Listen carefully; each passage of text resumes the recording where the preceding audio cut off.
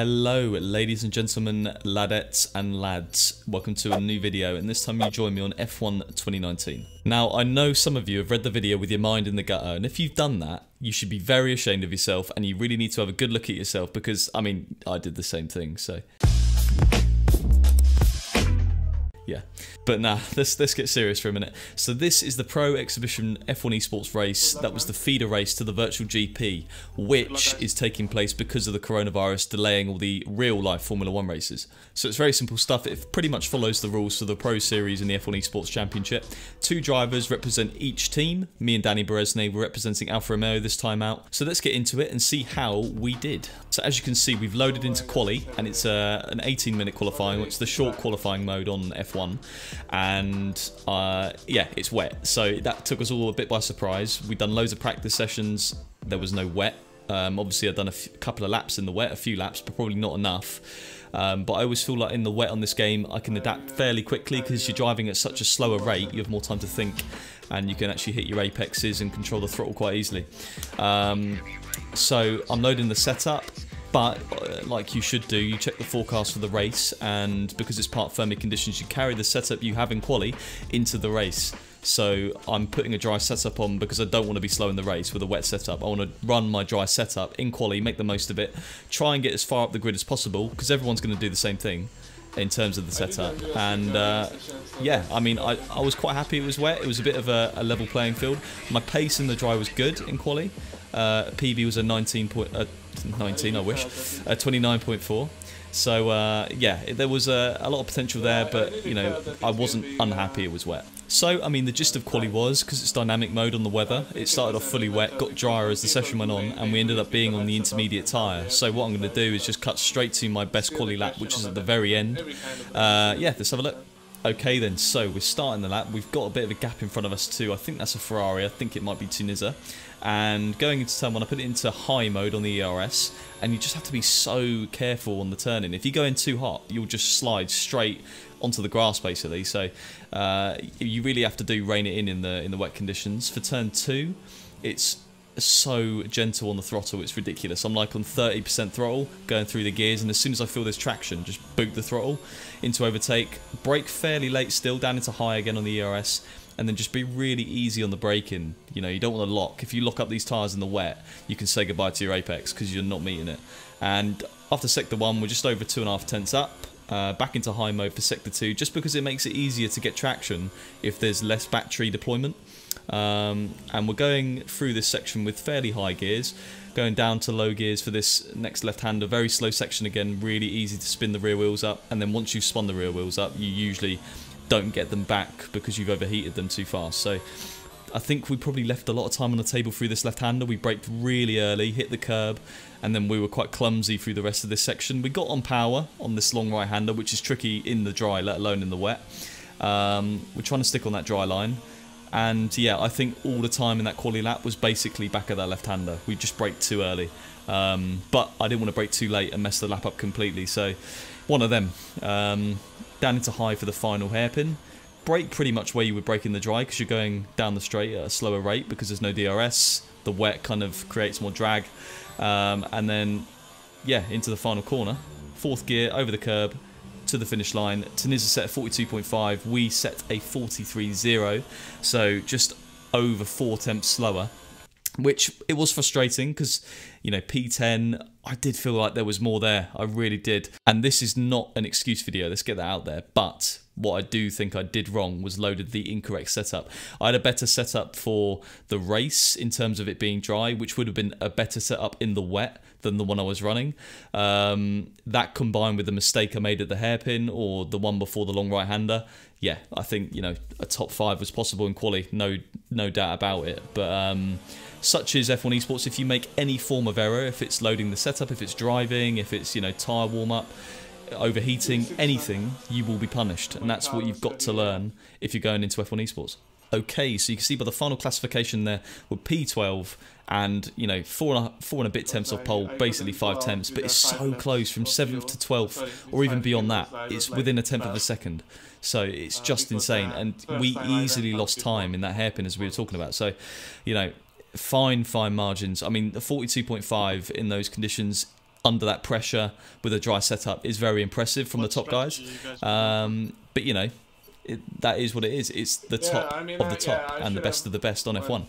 Uh, so into the race, I was thinking there was a chance to get a decent result here. Obviously, everyone's on fresh tyres because you know it's going to be dry in the race. We run inters in the in the qualifying session, all on dry setups. I thought you know it's time to get the elbows out, time to be a bit aggressive, and hopefully we can get a decent result. Now, we're just going into the grid spot.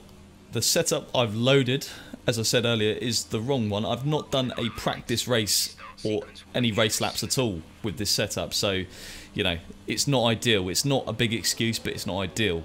Uh, and on the start here, we don't get the best start, I must be honest. We were kind of flustered a little bit, and it could have been better. It wasn't horrendous, but you can see Michael there just completely shot away from us. He was starting on the row behind us and he's somehow in front of us. So, you know, there's always room for improvement. A lot of guys on the medium where we are. Uh, and you can see there Michael goes up the inside, hits the McLaren of Sally and then almost goes round. So, uh, quite a messy start from some people, but, you know, you got to make moves. Otherwise, you're never going to make any overtakes. So I can understand the mentality that, you know, go hard or go home. And we were arguably a little bit too safe, um, but our poor start didn't help us in the slightest. Don't know how I didn't break my front wing there on Lucas's car. Um, but I tried to hold the position there from Fabrizio, but he still got it in the end. So we're 14th after the first half of a lap, which is not ideal. Um, but it's a train, so you know I'm just thinking if everyone plays it smart, everyone stays behind each other. Although Bonner's trying to go up the inside there, you know, if we just go with each other, stay in DRS, then you know everyone's got a chance. Um, so unfortunately, that's not how it panned out, as you'll see later into the video. But um, we're we're right in the mix of it, and going into this next right-hander, it's quite hard to be fair. It's worth mentioning that adapting from you know going from qualifying in the in the intermediate conditions into a dry race, you know, with fuel load, with as I said earlier, setup I'd not used in the race, it takes a lot, you know, and just to hit those those dry braking points, those dry getting on the throttle moments, you know, it's all different. So you've got to really be sharp in the way that you can just turn it on. There's no, you can't, you know, get used to it. You can't take a lap or two to get warm, otherwise you'll just get eaten alive. And you can see there we hit Fab in the hairpin there slightly, but no damage for the pair of us. Nothing kind of nurtured, nothing gained. And going into lap two, again in the train, just trying to hang on because I know DRS is coming on lap three. You've got to play it smart. There's no point pushing too hard at this point. We're on the mediums. The guys at the front, because Danny, who started sixth, he said to me he was going on the soft. So the front guys will be on the soft tyre. They're going to box around lap three, four, and we're going to go to like lap seven, eight, or nine. So we're going a bit later, but we should be quicker at the end. That's why in my head I was thinking if we can just stay with them, God knows what can happen. Alright, so a bit further into the race, we're in lap 4 now, and there's a bit of a train developing behind Marcel Kiefer, who is... We're all on the medium tyre, so no one's got a disadvantage here, and they're fighting like crazy. Fab almost goes spinning around there. Um, and we're going to get a bit of a run on him going into the hairpin. We don't want to make too much of a move. I don't want to cause us or lose us time. Um, so I'm quite happy staying behind him at this point. Um, although I do try and go around the outside there, but it's never going to work. And you can see we're just following Fab nice and closely. Lucas and Floris, I believe that is, in front of us, properly fighting there, which is not helping them at all. It's letting Marcel get away, if anything. Uh, and you can see here, I think Lucas goes off the track, comes back on quite aggressively, but he has no choice, obviously, because he's going to go on the grass, you know. So, really aggressive stuff from the pair of them, and it's backing us up into them. Um, and to the guys behind me as well. So we're running P10. I think some of the front guys have box, so it's not a net P10. And as long as we get a good drive off here, there's you know a chance to kind of leapfrog all of these guys. So I'm thinking they're all going to pull out and lose their slipstream. I'm going to get a slipstream, and there's a chance there I could make a three and one. Hamilton at Bahrain, if you remember. But um, as you can see in the braking zone, it doesn't quite work out. I go really deep, lock, and then into Fab. So yeah, not the smoothest driving at all. But I felt like I had to make the move. This is on stream. This was crazy with the broadcasting angles. You know, all of us fighting. We're losing so much time. That's what really frustrates me watching it back. Um, and it kind of stopped any of us getting a decent result. But when you look at it, one, it's good content, and two, it was fun. It was really good fun. Uh, no one lost their front wing. It was fairly clean. It could have been cleaner. Not gonna lie. Um, but yeah, lap five now really, really kind of hurting our race. You know, we're losing seconds each lap just from fighting each other. So behind Floris, trying to defend and attack at the same time because I, I, can see everyone's very up for it. You know, if you leave a gap, people are going to go for it. So we lost a bit of ground there to Floris actually, but you know, going into the rest of the race, I just thought, you know, keep the tyres in check. We'll try and do an undercut on the guys in front, even if it means at the end of the race we're going to be struggling on tyres. Because I just felt, you know, we're losing so much time here. Even if I lose a little bit at the end of the race, it might benefit us. Okay, and then on lap seven, Fab is behind me. We're both going to box and do the mother of all undercuts uh, with seven laps to go. So it's not even, well, it's just over halfway in the race and we're going on softs. Very ambitious, very audacious, but it was the only way that our races were going to come back alive. And you can see the leaders there already going past us. That's the gap they had to us.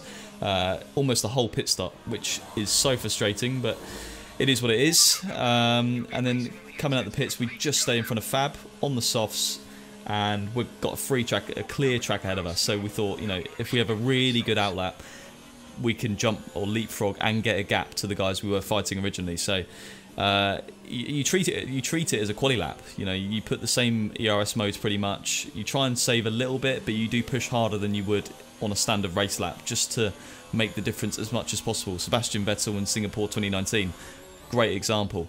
On that same lap, towards the end of the lap, Fab goes up the inside. I didn't defend it. I didn't want to lose any time, so I just let him go. I stay in a very low ERS mode. You'll see on the next pit straight, I get DRS. I could easily get him back. There's just no point though. I mean, there's literally no point because uh, I'm not going to run away from him if I overtake him. I haven't got the pace to do that. You know, we all know Fab's a great driver anyway, but uh, as you can see, Michael behind us is a solid three seconds off now. So that undercut was massively OP.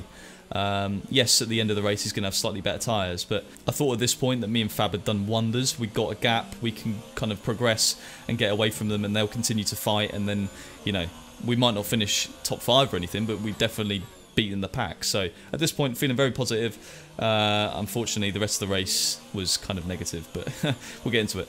So on to lap 10, and you can see that Marcel and I think that's Bono uh, they their outlaps or inlaps even were a bit stronger than Michael, so they've ended up being closer to us on fresher tyres. So they're obviously going to be quick. Uh, and again, I don't see the point of defending just yet. So Fab defends. He obviously thinks I'm going to absolutely send it, but uh, we've got Marcel on our inside. We defend for Marcel, and we do maintain position, but we're kind of where we started in terms of we're in the same pack of guys. Um, we, me and Fab, we were strong on our outlaps. Uh, I think I got fastest lap of the race with the softs, but it just wasn't enough. Uh, if we broke the RS from the from Marcel, for example, it might have been enough. But even still, you know, that two laps fresher tyre that Marcel's got does make all the difference. So um, you can see we're battling through turns one and two here on the exit of turn two. Very close, but you know it, the contact model in this game is fairly decent to be fair. So uh, no comings together. Marcel goes up the inside, but we, again, break fairly late, go around the outside. Fab's getting away at this point, so I'm thinking this is not good. Um, if we could just stay in DRS, though, it will be alright. Uh, but, you know, at this point I was thinking, we're in the same pack. It's going to be a battle to the rest of the race. We're going to struggle at the end with the tyres, so I was trying to drive fairly conservatively just to make sure at the end I wasn't driving on ice. Um, but yeah, not ideal. Now, to be fair, it's to be said that my racecraft in this, I went in with a slightly wrong approach. I wanted to go in uh, quite uh, reserved and just you know focus on the driving. Don't go crazy or be mega aggressive.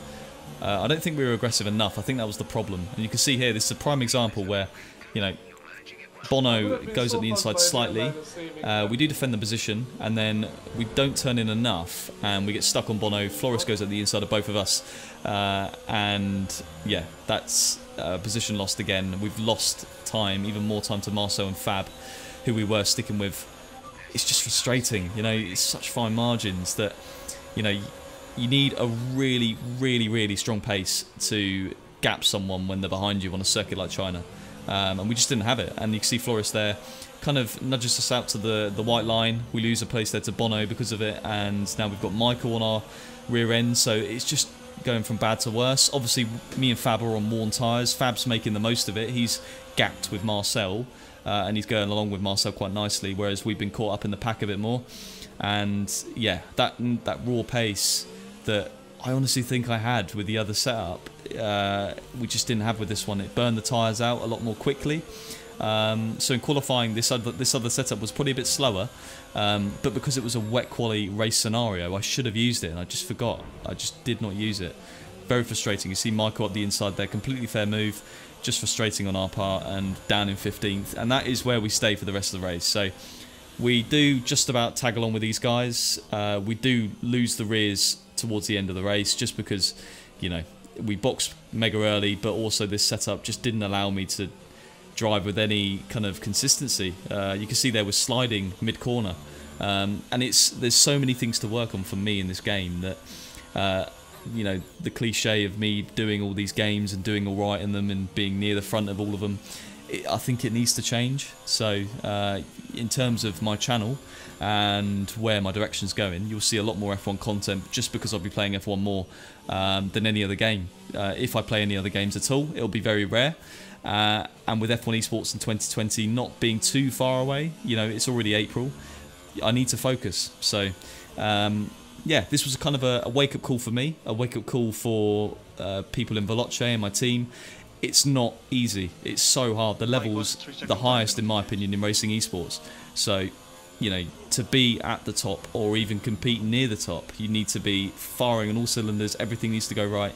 The practice has got to be put in and it hasn't just it's not been going that way for me at the moment because obviously you know I mean the day before this I was doing the 12 hour Suzuka in ACC that's not what you do if you were doing an F1 Esports Pro race so I need to treat it in that same manner um, so yeah it was a learning curve I will learn from it and hopefully later in the season I can look back and say that was the right decision. And then across the line, 13th, I think, yeah, we were 15th on the road, but 13th because of penalties, so, you know, that's some consolation, I suppose, but, you know, there's a lot to work on, isn't there? So, uh, I know kind of where I need to work on. Uh, I don't know how to do it yet, otherwise, you know, I would have done it, but, um, yeah, it's going to be a long year. It's going to be a, a year of hard work, but uh, I think it's possible but we'll wait and see. We'll wait and see. It's going to be a, a fun road, nevertheless. But um, I want to say thanks to Danny for helping me with some setups and practicing with me.